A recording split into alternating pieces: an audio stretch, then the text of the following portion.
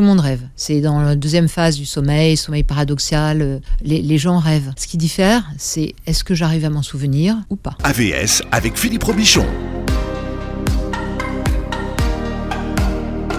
AVS. Et je suis content parce que j'ai un nouveau S ce matin à vos songes. Soyez les bienvenus. On va parler de voilà de vos euh, de vos rêves ce matin avec mon invité qui s'appelle Florence Lautredoux. Bonjour et bienvenue. Bonjour Philippe. Vous êtes psychanalyste, hypnothérapeute, coach en entreprise et vous êtes formé au Dream Teaching. Oui. J'ai cherché partout, j'ai pas trouvé ce que c'était que le Dream Teaching. C'est Robert Moss, c'est un chaman, un Australien qui vit à New York et qui a développé une méthodologie euh, d'observation, de compréhension, d'intégration des rêves qui s'appelle le Dream Teaching. Voilà, j'ai suivi ses enseignements. Waouh Ouais. On va en parler ce matin. Et nous allons avec vous euh, cut the crab. Mm. Ça veut dire quoi, cut the crab? Arrêtons les conneries. Oui, exactement. Vous, vous avez dit aller à l'essentiel, mais quand j'ai regardé la traduction, ça veut dire arrêtons les conneries. Ouais, cut the crap. Vous publiez La femme qui ne se souvenait plus de ses rêves aux éditions Odile euh, Jacob. Quelle est votre énergie à vous aujourd'hui? Euh, bonne. Tranquille. Tranquille, qu'est-ce que vous avez fait ce week-end? Euh, rien, j'étais, j'étais, au- j'étais au bord de la mer. D'accord. Et ça, vous appelez, vous, vous appelez ça ne rien faire? Bah, parce que j'ai pas beaucoup bougé. J'ai, regardé les arbres et, et la mer. Contemplative. Oui, D'accord. Vous êtes rentré hier soir? Oui, D'accord. Vous êtes couché tard? Oui. Et vous avez rêvé? Mais j'ai rêvé, mais justement ce matin, il m'a échappé, ce qui m'a profondément agacé. Mm. À 6h06, il est parti, mon rêve. C'est-à-dire que vous vous êtes réveillé à ce moment-là? Je me suis réveillée, comme on a parfois tous, avec le sentiment que c'était vraiment un très chouette rêve, qu'il y avait des messages, et il est, il, il s'est enfui. Rien. Pas l'ombre d'un. Et non, pas l'ombre. Votre livre est le fruit de plusieurs années de recherche sur nos rêves et euh, leur rôle dans nos vies. Euh, Qu'est-ce que vous avez appris de nouveau sur les rêves que vous ne soupçonniez pas? Ah, à quel point ils, ils peuvent dialoguer avec nous. C'est pas simplement euh, des informations qui nous arrivent, parfois superficielles, parfois plus profondes, mais que si on commence à s'intéresser à eux, ils peuvent nous répondre aussi. C'est-à-dire qu'on peut poser une question suite à un rêve. Tiens, mais pourquoi euh, ce motif ou cette personne euh, dans mon rêve n'a pas eu l'occasion de me dire quelque chose ou tiens, j'aurais bien aimé qu'elle me parle. Poser la question, se dire vraiment j'aurais bien, j'aimerais bien. C'est comme si une autre occurrence du rêve, un rêve dans les jours qui viennent, répond à cette question qu'on a posée. Donc en fait, ce que j'ai appris, c'est qu'on pouvait euh, développer une relation avec, avec ces rêves. Et pas simplement les recevoir de façon passive, mais qu'on peut aussi euh, interagir avec eux, euh, voire euh, travailler avec eux.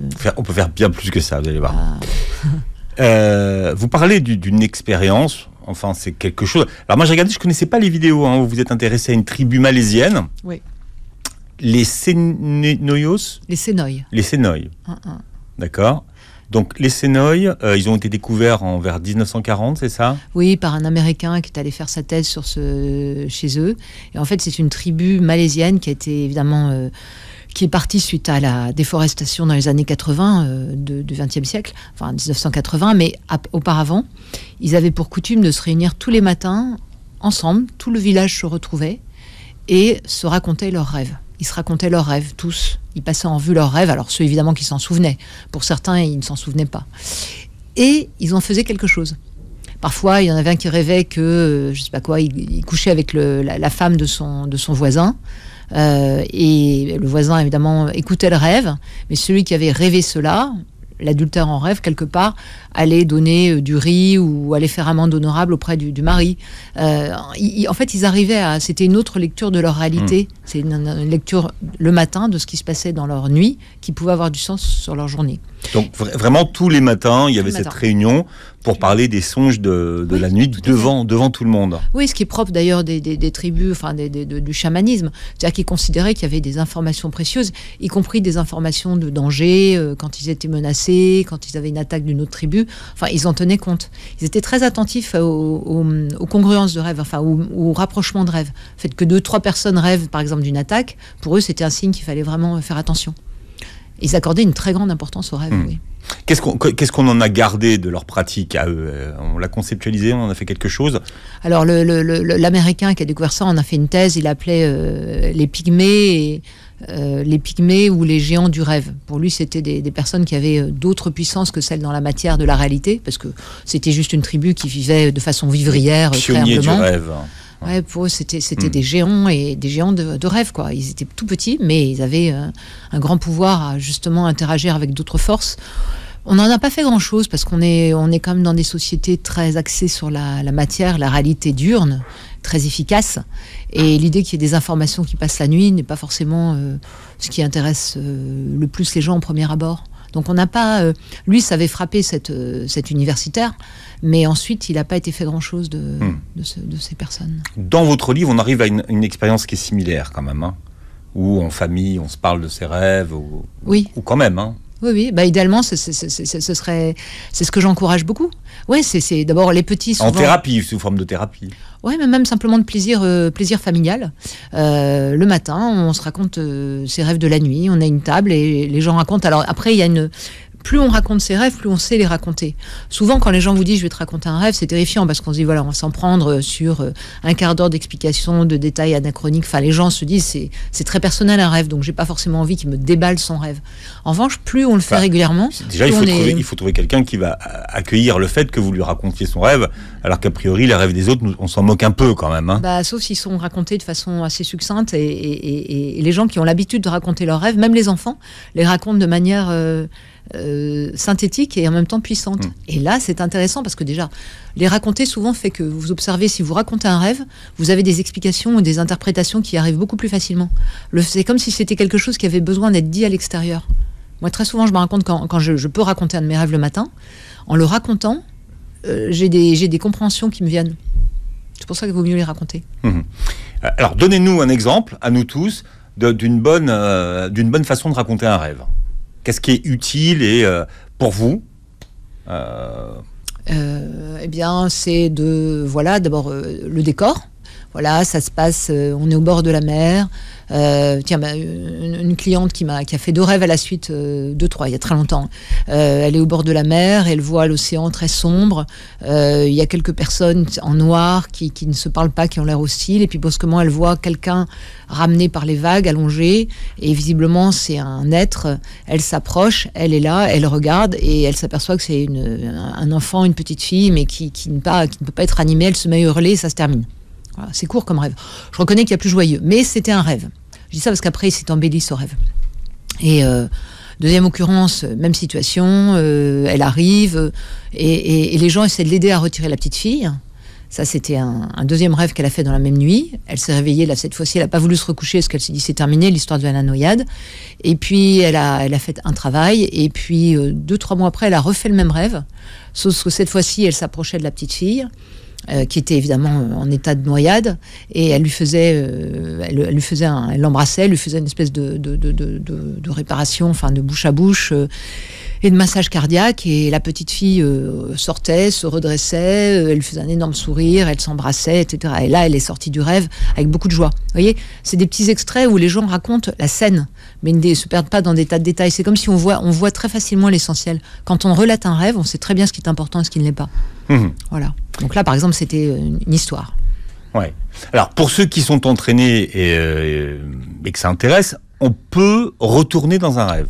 Oui, on peut retourner dans un rêve. Alors très souvent, moi je recommande de le faire avec les petits qui font des cauchemars. Très souvent, les enfants, bah, ils arrivent dans un monde qui n'est pas toujours très euh, apaisant.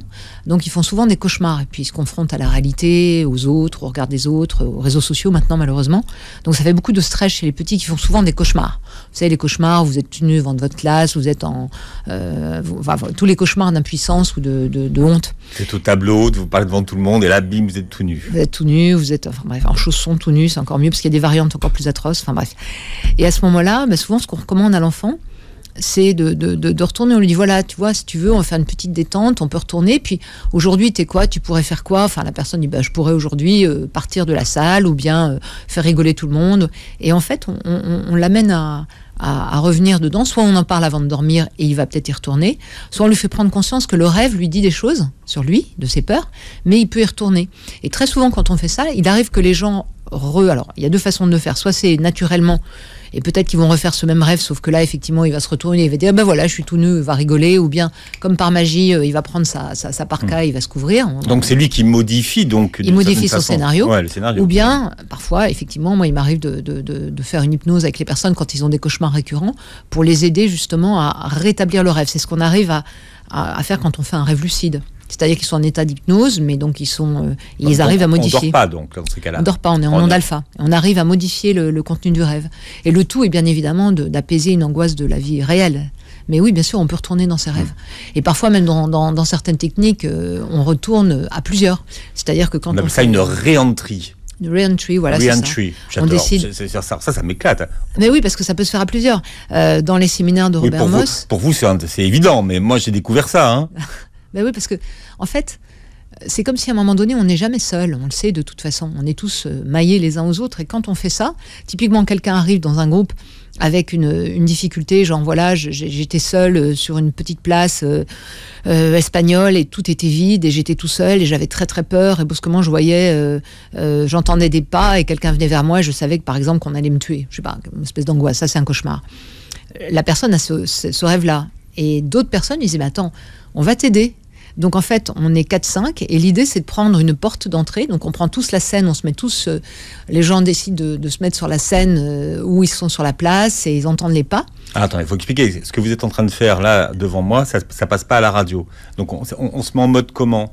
On se met en mode. Alors là, c'est comme si, là, là, c'est différent. Ça s'appelle un atelier du rêve. On fait quelque chose de concret. C'est-à-dire qu'on décide. On a tous, euh, mettons qu'il y ait 4-5 personnes. Elles ont toutes de quoi se détendre, euh, s'allonger comme si elles dormaient. Ça se fait dans la journée. C'est pas la nuit. On n'envoie pas tout le monde se coucher ensemble. hein. Enfin, on pourrait le faire aussi, mais c'est- ce serait différent. Et là, on donne cette consigne qui est que la personne raconte son rêve. Et les gens se disent tiens, bah, nous on aime bien la scène où t'attends, le bruit, enfin on aime bien cette scène-là, on va t'aider, on va y aller avec toi. Et donc chacun visualise cette image, se met dans la peau d'être euh, sur la place en attendant les bas, et chacun va imaginer une, possibilité de, différente, une, une issue, un scénario.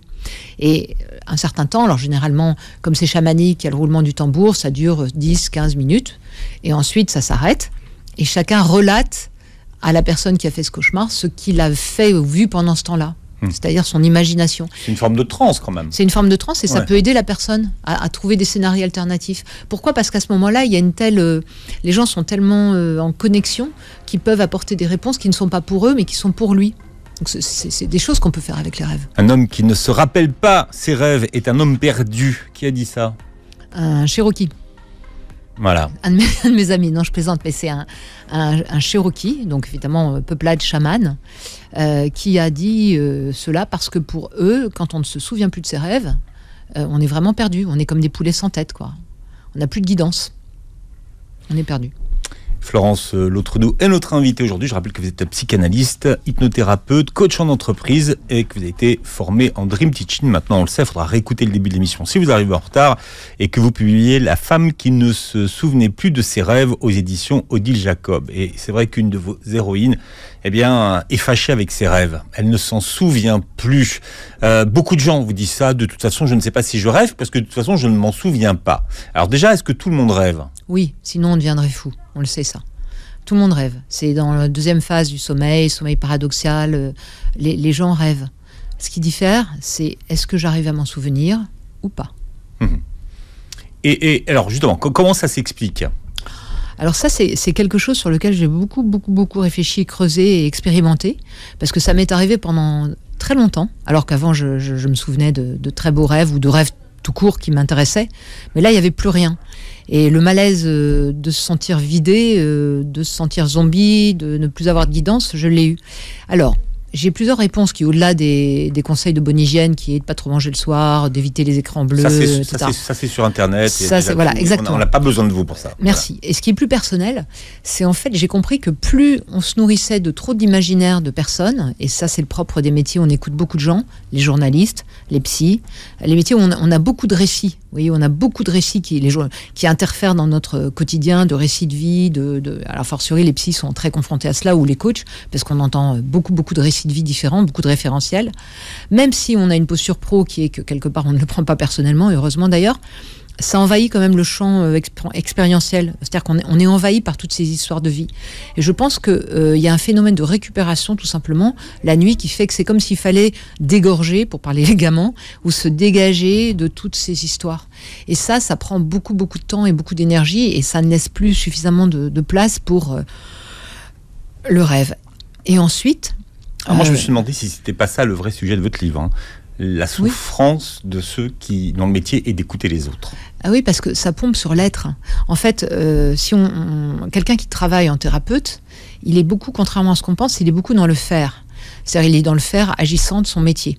Il est en travail, donc il est forcément en méta, c'est-à-dire qu'il écoute ce que disent les gens, mais il se place toujours à un autre point de vue pour arriver à être pertinent. Enfin, il n'est pas dans l'écoute passive, il est, il est dans, dans, dans le travail, donc il est dans le faire. Or, les rêves, ils doivent atterrir sur une piste d'atterrissage, pour moi, qui, qui est l'être.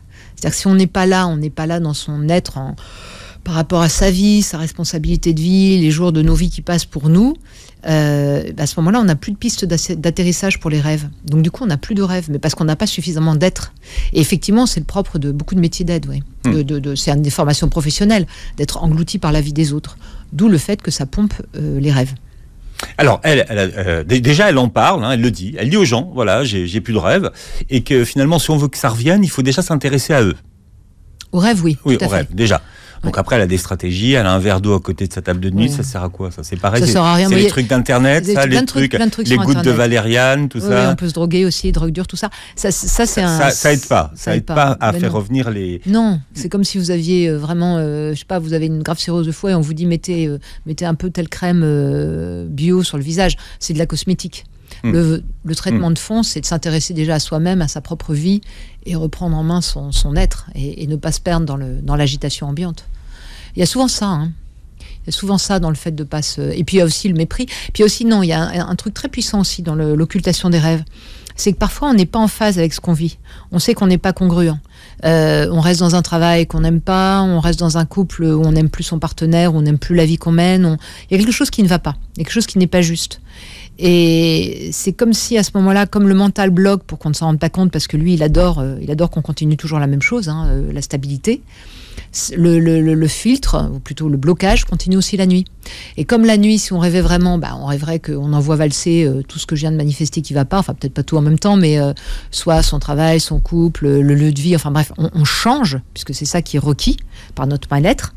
Et comme le, mental ou le conscient ne veut pas cela, il bloque tout. Ce qui fait qu'on n'a plus de rêve, parce que sinon les rêves seraient euh, séditieux et potentiellement dangereux. Hmm. Donc ça peut être aussi une autre stratégie. C'est aussi pour ça parfois qu'on on- on ne rêve pas, parce que si on rêvait, ce serait vraiment très très très chaud et ça nous amènerait à, à procéder à des changements.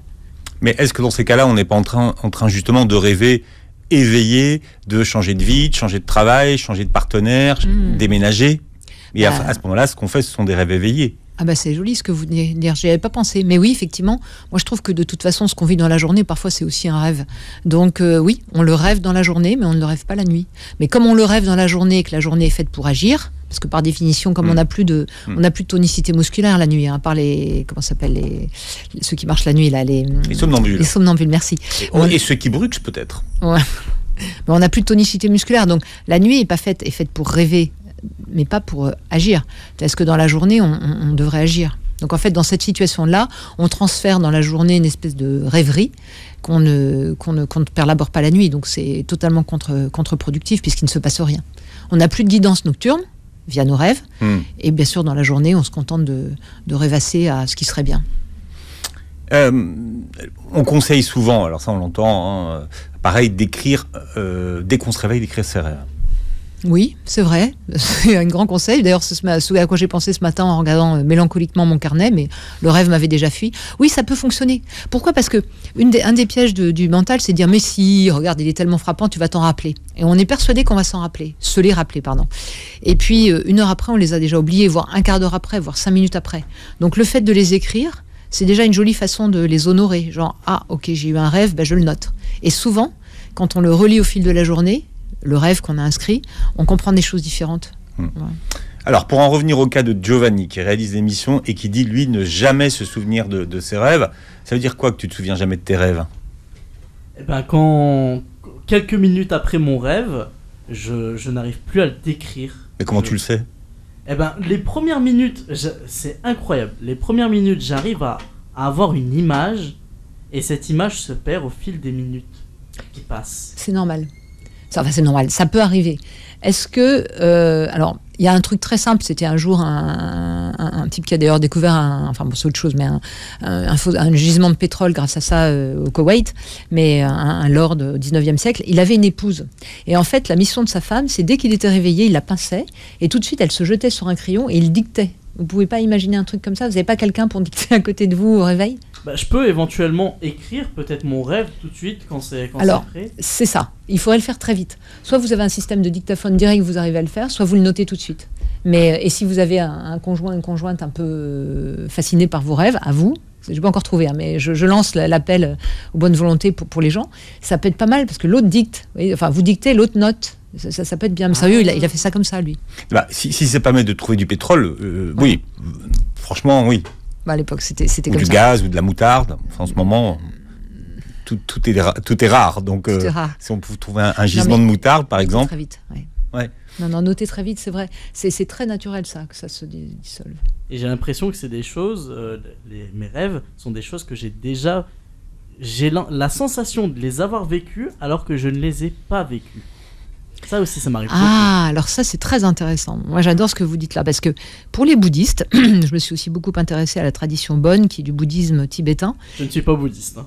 Non, mais ils disent que Aujourd'hui. pareil, il y a pas de, pas de, pas de, la science n'arrive pas encore à prouver cela. Peut-être qu'on y arrivera un jour. Ils disent qu'en fait, on arrive à accéder à d'autres plans de conscience via les rêves et peut-être d'autres univers. C'est pas du métaverse, mais c'est autre chose qui peuvent être les univers des défunts, des disparus, ou qui peuvent être des tas d'univers où il est possible, bouddhiste, hein, qu'après euh, nos morts, on se rende, c'est-à-dire des sortes d'autres, entre guillemets, continents, planètes. Et certains rêves nous amènent dans des paysages qu'on a le sentiment de connaître déjà, mais qui ne sont absolument pas des paysages réalistes. Et peut-être que c'est ce qui vous arrive. Sûrement. C'est vrai. Bah ouais. C'est vrai. c'est pas prémonitoire. Ça n'a rien à voir avec euh, des rêves prémonitoires. Ah non, Non. pas du tout, pas, pas ça. Au contraire. Alors, qu'est-ce que des rêves prémonitoires? Ben, certaines personnes arrivent à. Alors, le rêve, il y a plein de messages dans les rêves. Ça peut être l'inconscient, ça peut être nos besoins physiologiques. hein. On peut avoir un rêve où on fait pipi, mais simplement parce qu'on a envie de faire pipi. Désolé hein, d'être un peu prosaïque, mais c'est aussi ça parfois. Et puis à d'autres niveaux, euh, on, a un inconscient qui se balade dans le temps, on le sait tous ça, et qui peut sentir ou prévoir des choses. Et le rêve peut être averti de cela. Ça peut être d'un accident, et effectivement, il y, a des, rêves prémonitoires. Ça existe, ça. On ne peut pas le nier. Ceux qui reviennent souvent, c'est par exemple, je rêve que je de quelqu'un que j'ai pas vu depuis longtemps et euh, je le vois trois jours après. Oui, mais c'est aussi. euh, on- on- enfin, les, les- les- les scientifiques le disent, le temps, enfin, même, même Einstein le disait, le temps est très relatif. Donc, en fait, à partir du moment où il est dans le champ, on pense à quelqu'un, il est peut-être dans le champ de, de- de- de- dans le temps. Donc, c'est assez, c'est assez cohérent. Hmm. Euh, ce qui peut arriver aussi, c'est qu'on peut faire des rêves prémonitoires, mais qui ne sont pas prémonitoires, tout simplement. Moi, j'ai un jour un, un ami qui avait rêvé qu'il euh, il perdait son, son, son père. Donc évidemment, son père était plutôt jeune et lui aussi à ce moment-là. Donc il a passé les cinq années suivantes de sa vie à ou sept, enfin à redouter de, de, de- perdre son père. Et en fait, sept ans après, ça s'est advenu quoi, ou sept ou dix ans. Donc c'était juste peut-être une peur qu'il avait. Les rêves peuvent être nos peurs. Alors on confond parfois prémonitoire et peur. Moi, il m'est arrivé un jour, je me rappelle, je bossais dans une boîte, je rêve que le patron de la boîte où j'étais euh, mourait d'un cancer. C'était pas terrible en plus, comme vraiment, euh, j'avais les détails, c'était pas drôle dans le rêve. Je le regardais du coup avec un air, euh, une sorte de commisération inquiète. Euh, voilà, et ça fait très longtemps, et 25 ans après, je crois qu'il est en pleine forme, hein, donc euh, Bon. pas de panique. Vous faites mentir le vieil adage qui dit on crée ce qu'on craint. Euh, bah, en fait, je craignais pas trop parce que c'était en fait un peu sa vie quand vous même. vous l'aimiez, votre patron ou pas Il m'était sympathique, mais pas plus que ça, donc voilà. Pas trop d'affect. Voilà, on parle de nos rêves ce matin à travers la sortie du livre de Florence L'autre qui est notre invitée qui s'appelle La femme qui ne se souvenait plus de ses rêves aux éditions Odile Jacob. Et comme les Sénoï, la tribu dont on a parlé pour euh, euh, démarrer cette émission, honoraient leurs rêves, c'est important d'honorer ses rêves. Alors un exemple avec Giovanni, là, qui décidément, pour quelqu'un qui ne se souvenait pas de ses rêves, ses rêves s'en souvient subitement, et il arrivait de sa cousine. C'est vrai, c'est vrai. c'est- D'un seul coup, je, viens de repenser à l'instant que j'ai vu ma cousine dans un rêve. Alors, j'arrive plus à décrire ce rêve, mais j'ai pensé à elle un moment. J'ai même pris de ses nouvelles. J'ai, comme disait Madame, honoré ce rêve en me disant ah tiens, c'est vrai que je devrais prendre de de, ces nouvelles. Ouais, ce, qui ce que je trouve beau, c'est de poser une action dans le monde réel, le monde diurne, qui correspond à ce qui s'est passé dans la nuit. Parce que euh, quand, quand vous, quand, quand vous parlez de votre cousine, manifestement, bah, vous aviez, vous savez qu'elle est à Paris, vous avez envie de la- enfin, vous pensiez à la connecter, mais vous ne le faisiez pas, ou à la contacter. Et le fait d'avoir posé une action dans la réalité, qui est comme une, une réponse au rêve, va renforcer votre capacité à euh, vous rappeler de vos rêves, enfin vous rappeler vos rêves, euh, avancer avec eux et, et c'est clé de ne pas se contenter de, de- de dire ah j'ai fait un rêve rigolo il y a ça ça ça, mais moi je considère toujours poser un, un acte dans la journée conscient qui est une manière de, de rendre hommage à ce rêve. Et pour moi, c'était une sorte de rappel. Je sais pas votre avis, mais euh, pour moi, c'était une sorte de. Elle existe. Envoie... Prendre ses nouvelles. Appelle-la. Mais ça, c'est intéressant, c'est ce que vous avez ressenti. Le deuxième truc important aussi, c'est d'écouter ce qu'on ressent au réveil. Parfois, on fait un rêve très étrange, un rêve pas très politiquement correct, euh, et on se sent étonnamment bien pendant le rêve et au réveil.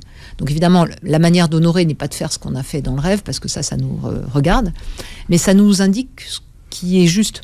Vous, typiquement, le fait que vous ayez, euh, voilà, vous ayez senti ça, pensé à elle, euh, besoin de l'appeler, une certaine inquiétude, en fait, tout ça, ce- ces émotions-là vous renseignent sur ce que vous avez intérêt à faire via ce rêve.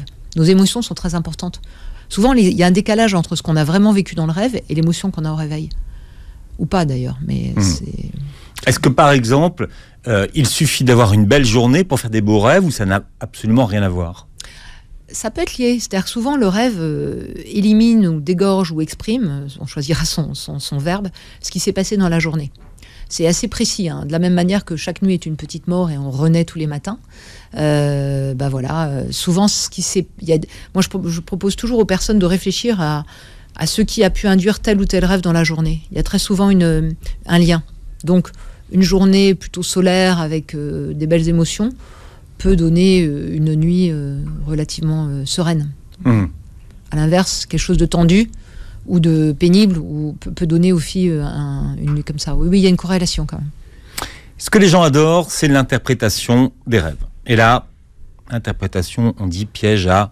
Parce qu'il y en a qui, ont fait- qui- qui font des business de ça. Et euh, vous êtes prudente, vous, sur l'interprétation des rêves.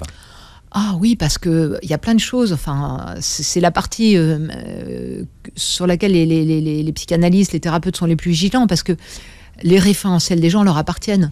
Pour, euh, alors je le sais en tant qu'hypnothérapeute, parce que vous, par exemple, l'eau pour moi c'est magnifique, c'est ressourçant. Chez certaines personnes, c'est angoissant, c'est un objet phobique, parce qu'elles ont eu, elles ont failli se noyer ou elles ont peur de l'eau.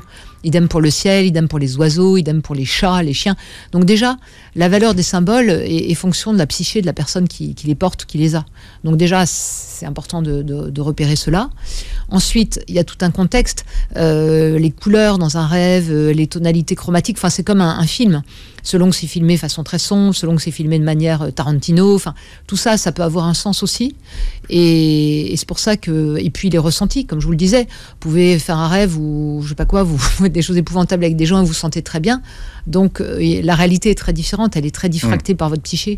Donc tous les dictionnaires de- de- d'interprétation des rêves, il faut être, on peut les regarder. C'est-à-dire qu'en fait, il y a des grands rêves communs avec des, des- des- il y a des, il y a des symboles très importants. Les symboles sont importants. Vous vous dites qu'il faut plus s'intéresser au symbole qu'à l'interprétation, en fait. Ouais, c'est ça. Bah, les symboles, euh, établir la relation. De temps en temps, si vous, si vous rêvez effectivement d'un cheval noir ou euh, euh, d'un aigle blanc, euh, enfin, il y, a- il y a des figures assez fortes. Vous pouvez regarder un dictionnaire des symboles. Il y en a des excellents. Le, celui chevalier, il y a un très gros dictionnaire. Je fais pas de pub, mais le Robert Laffont, il est exceptionnel. Il a été. Ça, là, vraiment, on est sur les fondamentaux. C'est-à-dire que dans toutes les cultures, Alors, tant qu'on est à la- sur la citation, donc c'est le, le dictionnaire de qui? Il s'appelle, je crois qu'il s'appelle Chevalier, 2 L I E R, et il est chez, euh, je crois que c'est Lafon, c'est un gros dictionnaire des symboles. De toute façon, il y en a qu'un comme ça, dictionnaire des symboles. Et en fait, c'est une analyse à travers toutes les cultures, les philosophies, euh, les religions, euh, des différents symboles. Par exemple, vous regardez le chat, le chien, euh, l'aigle, euh, l'océan. Et c'est intéressant parce que ça permet une sorte de rêverie. On peut réfléchir aussi à partir d'un rêve. Si vous voyez, euh, euh, je sais pas, justement, un, un griffon ou un, un aigle blanc, euh, vous regardez la symbolique de l'aigle, vous lisez tout ça. Comme en fait on a une espèce d'inconscient collectif dans lequel on est tous baignés, ça peut aussi vous parler. Même si euh, c'est un symbole très fort chez les, euh, je sais pas quoi, les chamans de Sibérie, il peut vous parler vous aussi à Paris. Mhm. Donc euh, ouais, moi j'invite à regarder ça, mais de façon souple et personne. Et en plus, gros bémol, la seule personne, enfin grosse précaution, la seule personne qui détient l'interprétation de son rêve, c'est la personne qui l'a faite, qui l'a fait, et, pas les et pas les autres. Et pas les autres, même son thérapeute, même son psy, il, il le voit jamais que distracté. Il peut l'aider à prendre conscience, mais euh, c'est la, la, base. Il faut comprendre ça. Et eh ouais, Vous avez la clé de la signification de vos rêves. Voilà, la clé des songes, c'est à l'intérieur de soi. Hmm. Euh, par contre, vous dites bon, qu'il faut écouter ses rêves et de savoir ce qu'ils ont à nous dire. Donc, comment est-ce que nous, on peut bien comprendre ce qu'ils ont à nous dire, nos rêves? Bah, Déjà en prenant le temps le matin, si on peut, de se poser, de l'écrire, comme on le disait avec, avec Giovanni, de l'inscrire, et peut-être d'avoir un temps de réflexion. Parfois, on ne comprend pas trop. Alors, il y a plusieurs méthodos, mais euh, de voir certains symboles. Moi, j'aime bien regarder les, motifs, d'essayer de comprendre aussi ce qui, dans la journée précédente, a pu conduire à ce rêve. Ça, on rêve assez bien. Mmh. Euh, et puis de voir quelle action pourrait être euh, une action en réponse au rêve. Euh, une manière de poser un acte qui dit ok j'ai compris et puis le laisser parce, que, parce que nos rêves et c'est ça qui est intéressant vous dites nous amènent à l'action certains peuvent nous conduire à des actions. C'est-à-dire mmh. qu'il y a des rêves, je ne sais pas, beaucoup de personnes ont eu des avertissements sur leur santé à travers leurs rêves. Ça m'est d'ailleurs arrivé moi-même un jour. C'est un rêve où. Parce que les rêves, c'est pas forcément des histoires, ça peut être aussi des paroles, ça peut être aussi des chansons. Ah oui, on ouvre aussi à ça. Vous pouvez vous réveiller si vous avez un, inconscient ou un ange mmh. gardien, je ne sais pas moi, qui, est DJ, vous avez des, chansons. Moi, il m'est arrivé d'entendre des chansons que je ne connaissais pas. Et quand écouté la mélodie, bon, j'ai un copain très musicien, enfin, qui adore les variétés, je lui ai chanté, il m'a dit, ah oui, c'est une chanson de 95, je sais pas quoi. Il me l'a sorti, j'ai lu les paroles. Franchement, j'avais des réponses. Donc, ce que je veux dire, c'est que déjà prêter attention à ça. Et puis ensuite, bah, s'il y, a des, y a messages, jour, un, on, m'intimait de faire attention à, je pas quoi, tel, organe, j'ai entendu ça, je me suis dit, tiens, je me suis réveillée. J'ai été euh, faire quelques examens et c'était pas idiot. Il n'y avait pas, il péril trop grave, mais il y avait quand même quelque chose qui allait pas. Ça, les, gens peuvent avoir ça. Vous voyez, parfois, ça peut être des guidances. Et puis parfois, vous avez des rêves dont vous ne faites rien. Ce qui est bien dans le rêve, c'est que c'est ni, on peut pas se forcer à se rappeler de ses rêves, et on peut pas se forcer à, créer des rêves, et on n'est pas obligé de faire quelque chose. Il n'y a rien de musculaire. C'est juste très délicatement. Parfois, ça peut être juste une magnifique balade. On se réveille, on est heureux, on a fait ça, et puis c'est tout. On n'est pas obligé d'agir de, dessus. Enfin, il n'y a rien de musculaire, de forcé, de volontaire avec les rêves. C'est pour ça que ça agace les gens d'ailleurs un petit côté chat, quoi. C'est un truc, euh, c'est un, peu insaisissable, même si on peut l'amplifier. Est-ce qu'on pourrait se programmer avant la nuit, avoir un tel ou tel rêve? Non, mais les bouddhistes arrivent à faire des rêves euh, quasiment euh, lucides, oui, parce qu'ils travaillent beaucoup. C'est un travail spirituel extrêmement intense, à base de certaines postures, de certains travails avec le souffle. et ils le font pas pour le plaisir de manœuvrer leurs rêves. Ils le font simplement parce que pour eux, on peut arriver dans nos rêves à créer certaines situations qui nous permettent de corriger nos vies. En clair, vous avez par exemple une phobie. Euh, en fait, c'est ce que je voulais dire tout à l'heure, mais j'ai mal exprimé, vous le dites bien. Voilà, c'est ça. C'est ça. Ah oui, on peut se servir de ces rêves pour corriger des choses de notre vie réelle. Hmm.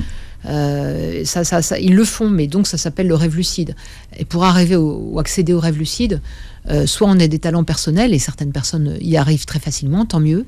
Soit des personnes ont, intérêt à faire un travail spirituel si elles le souhaitent, parce que c'est également très, très engageant, parce que c'est pas donné à, tout le monde. Personnellement, je n'en fais pas de rêve lucide.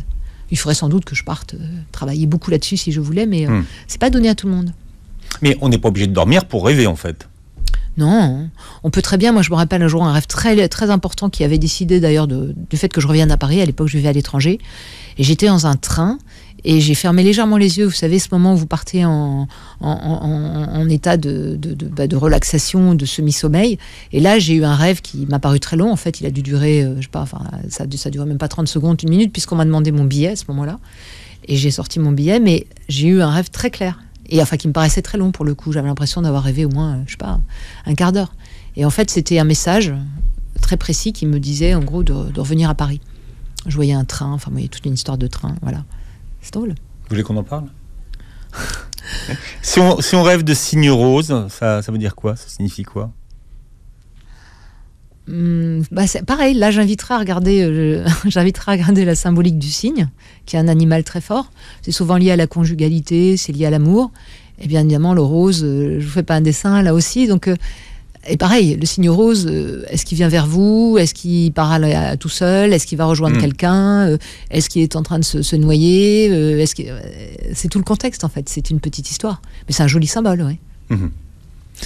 Ça, ça, ça, ramène votre héroïne justement à ses rêves d'ailleurs. Oui, tout à fait. Bah oui, puisque quelqu'un lui raconte un rêve avec un signe.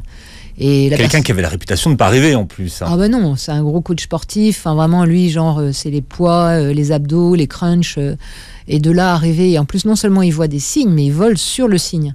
Un peu comme Neil Solgerson, vous savez, avec les oies sauvages dans les contes d'Andersen. Alors là, il vole sur son signe et il arrive sur une île. Enfin bon, il fait un rêve magnifique, ce, ce- ce garçon. Et là, ça la ramène, elle. Ça, relance la machine finalement. Mais oui, parce qu'on est tous connectés. Vous remarquerez, c'est pour ça que moi j'invite euh, les, communautés, qu'elles soient des couples, des foyers, des amis, des gens d'une radio, à se raconter leurs rêves, parce que quand vous avez des gens qui jubilent en racontant un rêve ou qui vous racontent un cauchemar et que vous-même vous, vous les aidez aussi par vos questionnements à peut-être trouver des réponses, enfin vous voyez, un petit, euh, petit échauffement, ça va forcément développer votre capacité à vous à rêver.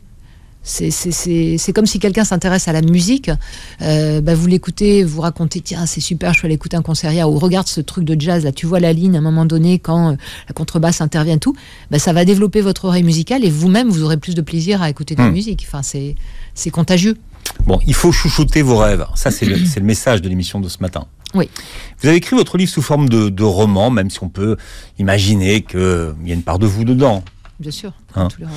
Le livre s'appelle La femme qui ne se souvenait plus de ses rêves que vous montrez à la caméra. L'éditeur c'est Odile Jacob. Vous réécoutez l'émission en podcast sur beurrefm.net et vous verrez la vidéo. Comme ça, vous pourrez voir euh, notre invité tenir son bouquin, Florence, sur la chaîne YouTube de Beurre FM. Merci d'avoir été avec nous Merci beaucoup. et faites de beaux rêves sur Beurre FM.